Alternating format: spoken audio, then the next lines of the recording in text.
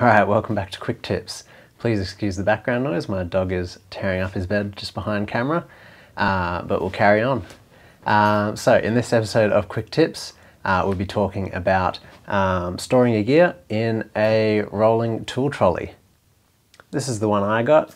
Uh, this is a small black rolling tool chest. Now these are usually used in mechanics workshops uh, because you can roll all your tools over to the car that you're working on and you've got quick access to everything. And the same principle applies in a home studio or a office studio. Um, you can roll all your film equipment that fits in the drawers over to where you're shooting.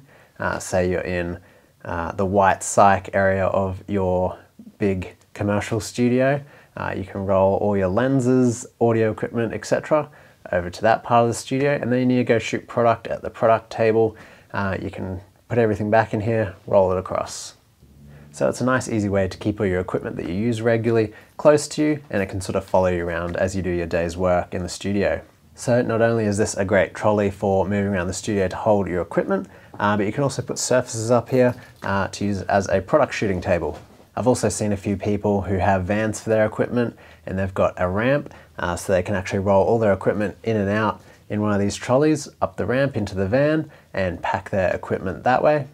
So how I used to store a lot of my equipment was I used to have it in Pelican cases on shelves, and this is just another option uh, to store my equipment. Uh, it's a bit quicker access because a Pelican case on a shelf, you've got to take the case off the shelf, undo the latches, open it up, see if you got the right Pelican case, if the equipment's in there. This is just a bit quicker. You can just slide open a drawer, grab the piece of equipment and continue working. And those sorts of small incremental time savers uh, while shooting really add up. All right, so while Bambi is interrupting, uh, let me tell you a little bit about the trolley I've chosen.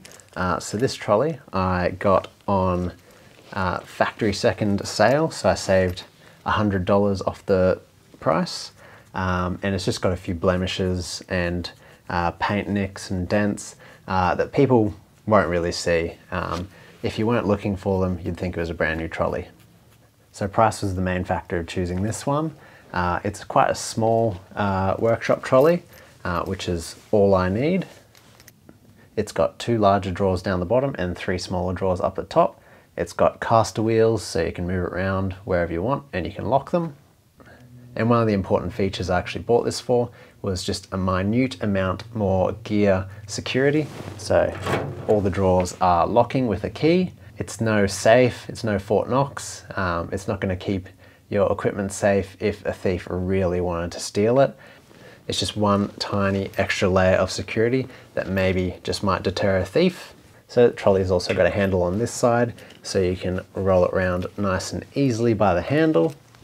I've added a power board on the handle side as well, just in case I want to charge batteries on top. Uh, it's just attached with some Velcro.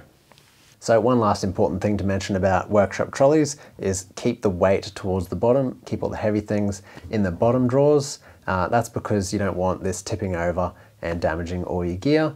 Particularly the smaller workshop trolleys, they're a bit narrow so they could potentially tip over forward when you open a drawer if you got a heavy drawer coming out. Uh, near the top, the leverage might just pull the whole trolley over.